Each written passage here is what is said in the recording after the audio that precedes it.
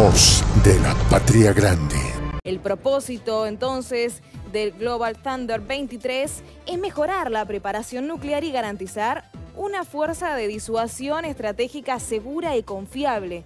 Este es un ejercicio anual y no responde a acciones de ninguna nación u otros actores. Eso es lo que fue indicado en un comunicado el mando estratégico estadounidense. En concreto, el mando ha afirmado que el ejercicio comprende sectores relacionados con la disuasión estratégica, así también como, por ejemplo, la defensa antimisiles y el análisis y la selección de objetos militares. Como en años anteriores, Global Thunder 23 incluirá un aumento en los vuelos de aviones bombarderos, esto durante todo el ejercicio, y es lo que agregaban y anunciaban.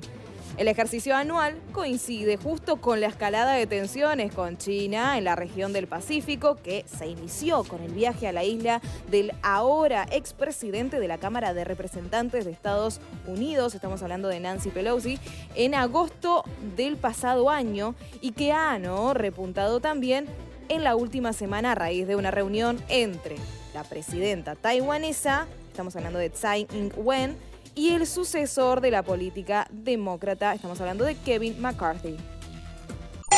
Voz de la Patria Grande.